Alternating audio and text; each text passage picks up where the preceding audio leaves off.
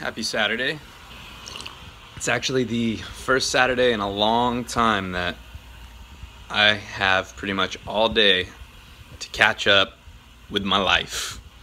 So, gonna run a ton of errands today and then get some more work done.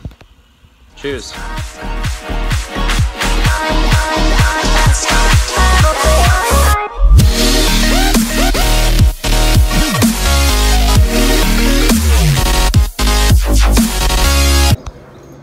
Hello.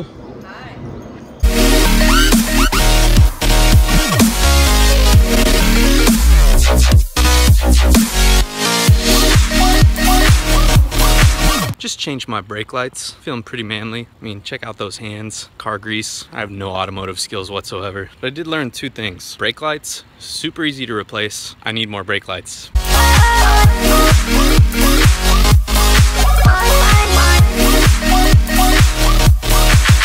Sydney. This dog loves socks. You see these socks?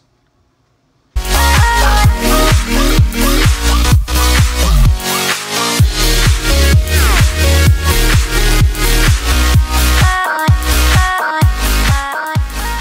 starting to think Steven and I need to change the uh, name of the vlog to the Car Diaries. Somehow, I don't know, maybe that's where we do our best thinking. I just realized I do my best thinking in the gym, and I think that's a combination because I'm so focused on completing the workout and that I'm listening to podcasts as well. And I had a revelation while I was listening to a podcast today. I was listening about marketing and, and selling.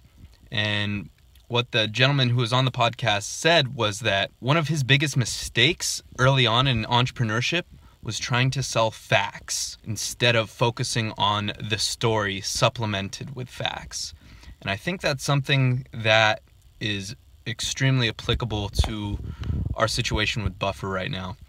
When we launched on Kickstarter, we went in with the idea that we can just promote all these features and benefits of the shirt without telling everyone our story uh, Steven's story, my story, Trevor's story, all how we came together to create this thing for an industry we're so passionate about and for an industry that we want to make an impact on because we truly believe in its community.